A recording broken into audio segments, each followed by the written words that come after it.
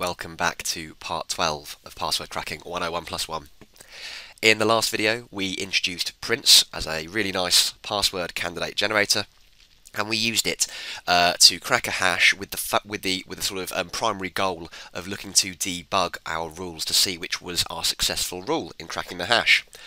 We did that here by taking Prince processor with our word list, setting a minimum password length of 8, and feeding the, feeding the candidates from that into Hashcat, and very importantly, enabling debug mode and a file, so that when our hash cracked, we could look inside that file and identify the finding rule, the rule that was the rule that successfully augmented one of our vanilla candidates to crack the password hash here. We're going to continue on with Prince to use it to attack passphrases now. Now, back in uh, video 9 when we looked at combinator attacks, we had this uh, hashcat attack string here where we said we could run in combinator mode two dictionaries, in this case it was the same dictionary, our 20k combined mid-space, which if we think all the way back was our original 20k dictionary combined together with a space delimiter in the middle. So we had element, space, element. By running that in combinator mode with itself, we could achieve our uh, four element passphrase, but we'd still need to add uh, a space in the middle of those two dictionaries, and that's what we're doing here with the dash J. Um, shout out to uh, Royce Williams and Sam Crowley, Tycho Tithonus and Chicken Man, who are both part of Team Hashcat, for steering me in the right direction on Twitter when I was scratching my head about how best to achieve this efficiently. Um, and they, they kind of um, leaned in and said that we can do this a little bit better by taking prints and setting a minimum and maximum element count, uh, therefore allowing us to choose we could have um, minimum maximum of three for a three element passphrase. In this case, we're looking at a four-element passphrase. You could even set a minimum maximum of two and four if you're, you're unsure, and you can build up chains uh, to, to build up your passphrase to a length of your choosing. Either way, if we set a minimum max of 4, an overall minimum length of 8, on our 20k space dictionary, um, what we'll achieve is our four elements, but the last element will still have that trailing space at the end, so we need to do something about that.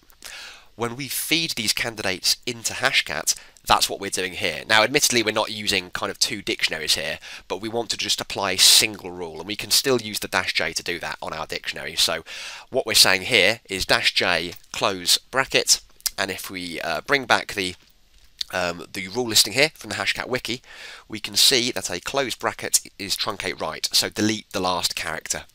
Uh, so back into the context of our attack here, our last character is going to be that trailing space from our 20k space dictionary. So that very cleanly will always delete the last space, giving us a nice succinct four element passphrase. You can then, of course, you know, apply whatever you want to. In this case, we've applied some rules, and Prince itself does actually come with its own rules. It's got two rules. Um, the one I tend to use is the Prince optimized rule, uh, and it's shown to have really, really good results. Uh, it works well with Prince. So this would be a really nice way of allowing you to attack passphrases succinctly using Prince. But yeah, uh, I think I said, might have said this in the last video. Prince is one of the, the things I definitely go to when my usual sort of dictionary and rule attacks and things fail, and also when I've uh, attacked using certain common masks and things and hybrid attacks to see what works. I, I generally always go to Prince next, so well worth having a look. And let's have a look now. So let's take uh, Prince and use it to crack a passphrase in our exercise 12 file here, which is another NTLM hash. The passphrase is based on Google Word List. Okay, we've got that on our Kali boxes. It has four elements, is space delimited, and is very, very interestingly, specifically between 24 and 26 characters long. It's almost like this has been created for the purposes of a training course.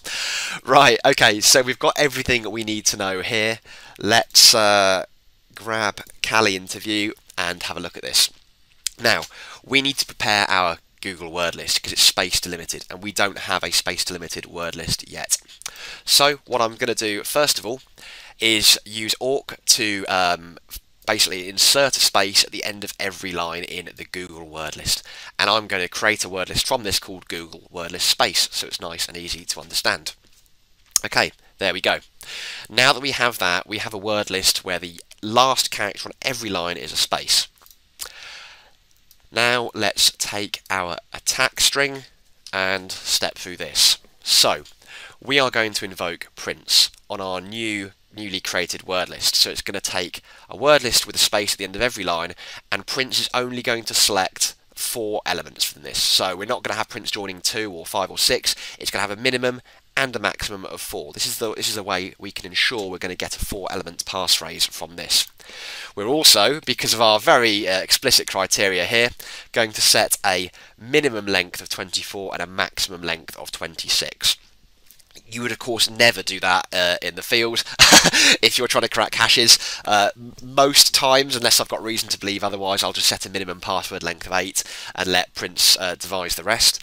Um, but yes, we're going to tailor this to make sure it cracks within a, you know, a reasonable time for this training class. We're then going to pipe the output from that into Hashcat. Business as usual here now, mode 1000 NTLM, here's our hash, but as the slide recently alluded to, we are going to want to delete the last character from each element, the last character being our trailing space from our um, dictionary. And we're going to run optimized kernels because, you know, why not? We want to do this as, as quickly as possible. So, that is now going to run and luckily for us it's cracked very quickly and here we have it acute there about contact where the last trailing space has been removed and it's a space delimited passphrase in itself. So that's a really nice way of building up these chains. Now, of course, you can use um, prints both with or without, you know, looking to attack passphrases very nicely in targeted word lists that you might have scraped from organisational sites or other information that you have. Um, RockQ is quite a nice one to run it uh, run it across as well. You can of course choose, but if your dictionary is too small, of course you're going to you know you're going to run out of candidates very very quickly. Okay then, so there was our attack on Prince passphrases using space delimited um, attacks. You don't obviously have to use space delimited attacks, but we've done it in this instance just to show you that you can attack these more complex and more advanced passwords. Um, but great, that's great. Thanks very much for joining us, and hopefully we'll see you in the next video.